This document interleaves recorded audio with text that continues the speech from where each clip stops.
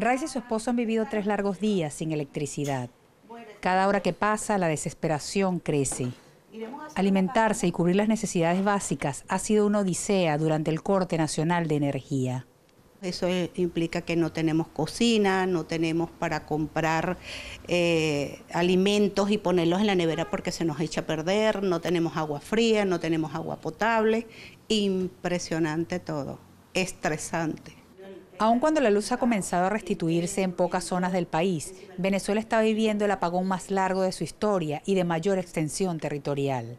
La crisis eléctrica también está afectando la economía de los venezolanos. Nos tiene realmente contra el piso en ese sentido. Eh, no tenemos agua y estos son edificios que funcionan con bombas. Entonces, al no ver electricidad y al no ver agua, pues te imaginas entonces cómo estamos jugando con las dos variables al mismo tiempo.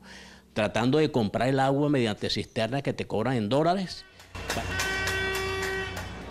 Las calles comienzan a calentarse con la protesta.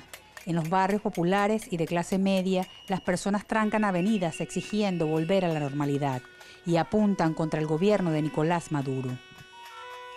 72 horas sin luz, sin agua y en el edificio de nosotros inclusive sin gas. Ya está bueno, chamo.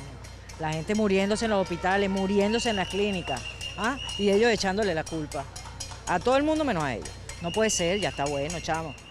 Las comunicaciones también han fallado durante los días de corte de luz y muchos van a las áreas abiertas donde hay señal de celular para poder contactar a sus familiares. Estamos en la autopista porque descubrimos que conseguimos señal de celular, ya que no tenemos teléfono desde hace por lo menos 48 horas. Y es necesario estar comunicados para saber de la familia y, de la situación del país que está terriblemente grave.